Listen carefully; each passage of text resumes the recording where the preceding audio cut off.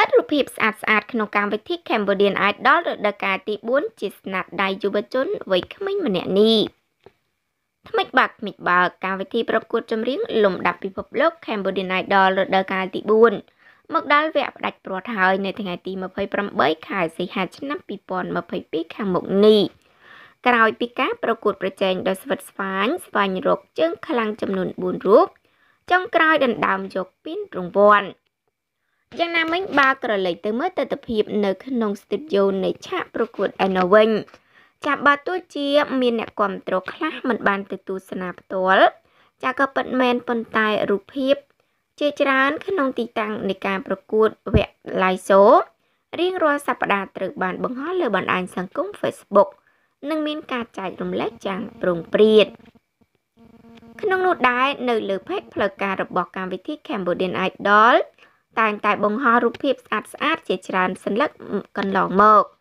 ចាក៏បានធ្វើឲ្យអ្នកគ្រប់គ្រងចង់ដឹងចង់ស្គាល់ថារូបថតស្អាតទាំងនេះជាទឹកដៃរបស់ជាងថតរូបណាទៅ